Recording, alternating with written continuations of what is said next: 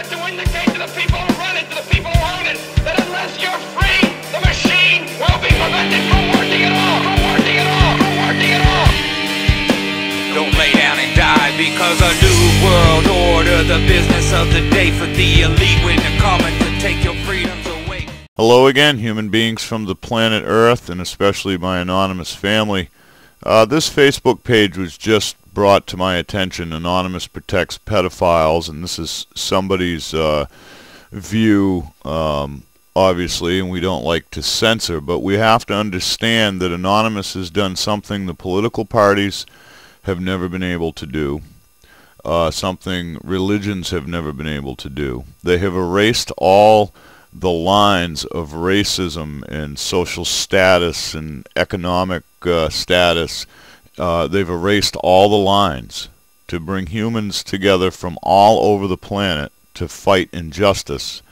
Um, and so certainly there is going to be a lot of propaganda and a lot of filth and a lot of lies spread about Anonymous so that you and I and the others um, won't participate in that movement when we feel it's right to do so.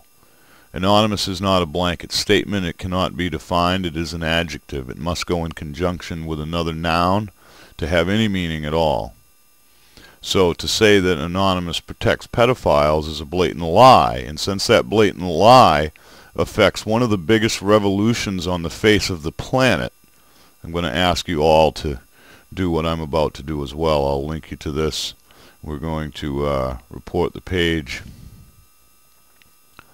Let's see. Uh, it's harassing me or someone I know. I don't think it should be on Facebook. It's spam or scam. Uh, I guess it's uh, spammy and scammy, isn't it? It's a scam.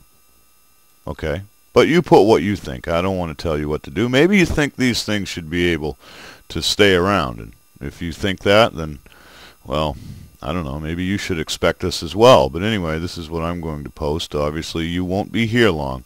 Much love, many thanks, and I'll see you soon.